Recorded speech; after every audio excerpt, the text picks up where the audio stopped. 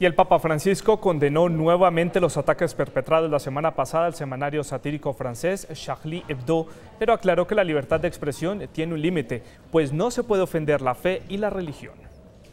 A bordo del avión que lo llevaba de Sri Lanka hacia Filipinas y ocho días después del atentado contra las instalaciones del semanario Charlie Hebdo en París, el Papa Francisco aseguró que si bien la libertad de expresión es un derecho fundamental, tiene un límite. Y para hacerlo más comprensible, el Papa usó un ejemplo con uno de sus colaboradores más cercanos. Que no se puede reagir violentamente, ma se el doctor Gasparri, grande amigo, me dice una contra la mamma, ma gli aspetta un pugno.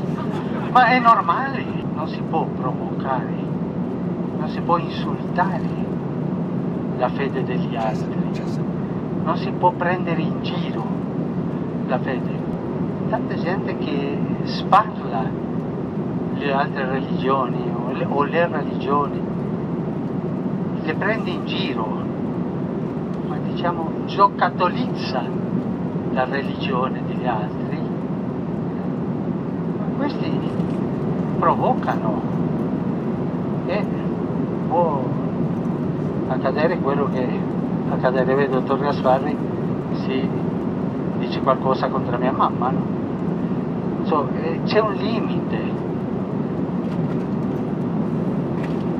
Ogni religione ha dignità.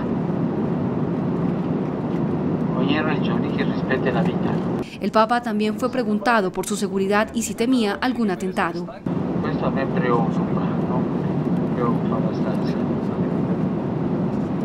Ho paura, ma lei sa che io un difetto, eh, una, una